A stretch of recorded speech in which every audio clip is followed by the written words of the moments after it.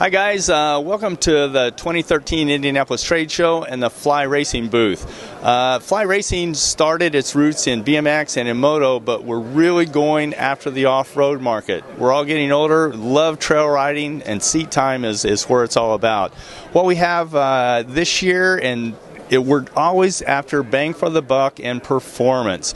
So we have a lot of water repellent, water resistant gear, lots of venting for the heat, lots of protection. We have a new product this year called the Ready to Ride Kit, chest protector front with a hydration system, tool kit for the back. So you have the hard protection from the front, but you can pack all your water and your tools in the, in the rear. Also, uh, the soft shell jacket we introduced last year has been a big hit called the Black Ops Convertible.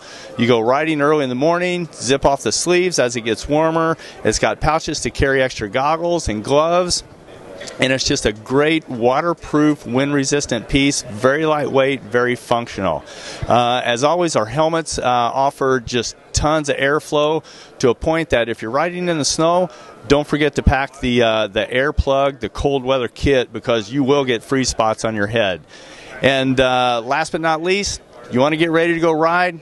The wife wants you to do some work get up early, six in the morning, start running the vacuum. I guarantee you'll be on your motorcycle by nine. Have a great day.